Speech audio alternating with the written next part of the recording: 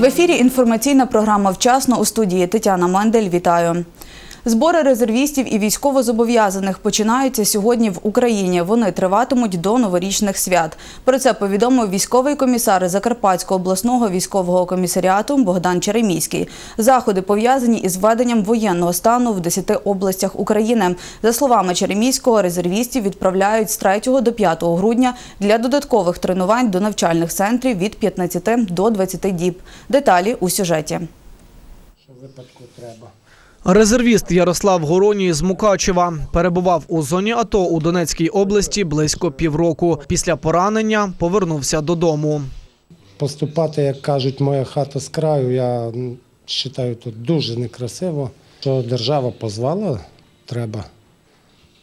Так як бивший мобілізований, як патріот держави, я вважаю, що обов'язково треба являтися на такі збори, щоб зачерпнути інколи щось нове, і щоб теж вже є в собі, то вже щоб не забути.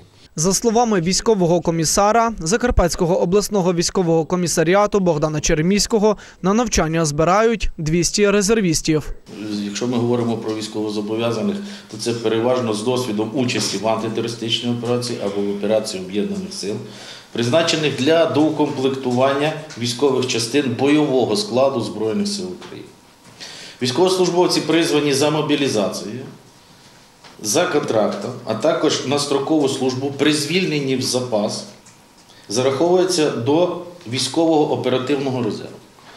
Заступник військового комісара з морально-психологічного забезпечення Петро Марко повідомив, що за резервістом зберігається місце роботи та середньомісячна зарплата за відповідний період проходження цих зборів. Наразі не йде питання, що це відправляти на війну, але продемонструвати готовність стати на захист батьківщини, щоб коли бо, коли буде зрозуміло, що всі області України виконали оце завдання щодо поставки резервістів, і коли в нас буде оцей резерв, тоді там на сході ніхто не посміє полізти. За словами Богдана Череміського, інформація про смс та телефонні сповіщення щодо призову на військові збори чоловіків віком 18-60 років не відповідає дійсності.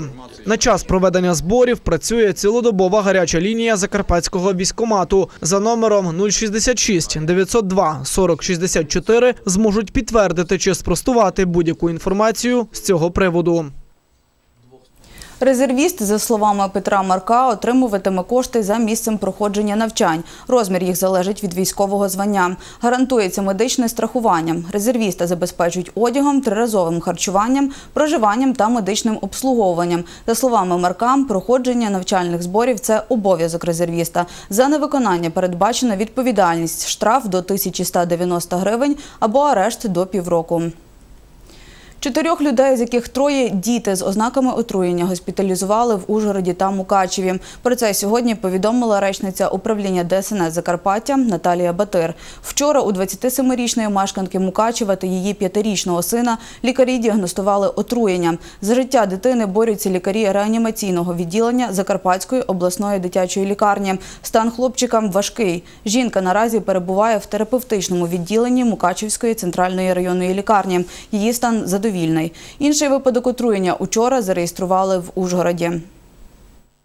Е, Дійсно, до нас вчора швидка допомога привезла двох діток із е, підозрою на отруєння чадним газом. Діти поступали, е, поступили в середньо-важкому, ближче до важкого стану, але швидко наступило покращення, і вони на сьогоднішній момент вже відпущені додому, виписані в абсолютно задовільному стані, без будь-яких симптомів.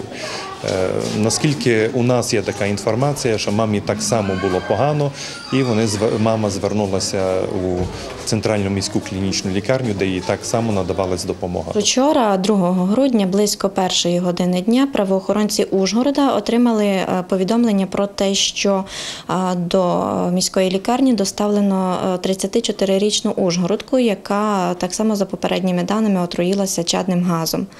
Наразі поліцейські встановлюють усі обставини справи. Вчора на лінію 102 надійшло повідомлення від лікаря обласної дитячої клінічної лікарні про те, що до них доставлено в реанімаційне відділення п'ятирічного хлопчика, мешканця Мукачева. За попередньою інформацією, дитина отруїлася газом. Причина витоку газу наразі встановлюється експертами.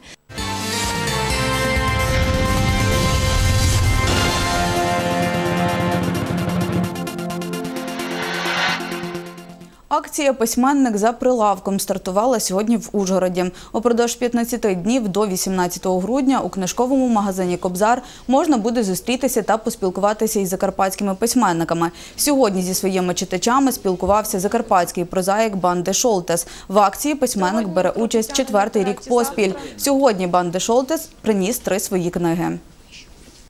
Це вже традиція.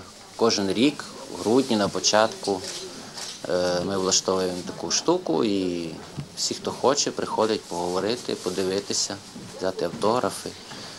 Це просто е, загалом е, привернення уваги до читання, привернення уваги до е, книжкових магазинів, е, до книжок.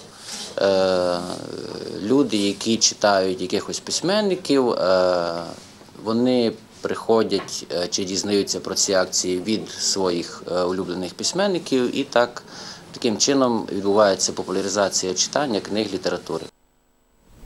Переможців обласного конкурсу робіт Захисники України. Історія та сьогодення нагороджували 1 грудня в Ужгороді. За перемогу змагалися учні загальноосвітніх закладів краю. На конкурсі вони представили літературні твори, малюнки та фотороботи. Докладніше в сюжеті. Переможців цьогорічного конкурсу Захисники України. Історія та сьогодення визначали у чотирьох номінаціях: лист, вірш, малюнок та фоторобота. Артем Флут зачитує рядки, які написав загиблому на сході України односельцю. Учень восьмого класу Ставненської загальноосвітньої школи Великоберезнянського району став переможцем у номінації Лист. Ми віримо в те, що війна скоро закінчиться. Висохне ріка материнських сліз. Над Україною засвітить сонце єдності, миру, злагоди. Я написав його Василю Наливайку, він загинув в АТО. Я думав про те, як він сидить в окопах, думає про свою матір і хоче, щоб закінчилася війна на Сході. Захищає свою країну. Відзнаки отримали також педагоги переможців, які готували учнів до участі в конкурсі. Артем вирішив е, написати листа і сказав: Наталія Петрівна, я хочу поділитися своїми враженнями, своїми думками про односельчанина, який у перші дні війни загинув на фронті на сході. І йому це вдалося. Він перейнявся болем, стражданнями. Це ми із моїм учнем вирішили викласти у листі до нашого односельчана. Може, він нас десь там і почув. Конкурс проходить щорічно у три етапи, розповіла директорка департаменту освіти і науки Закарпатської обладміністрації Ганна Собкова. У фінальному обласному етапі цього року кращих обирали серед 117 робіт. Мотиваційна частина нашого положення чітко каже, з якою метою проводиться цей конкурс.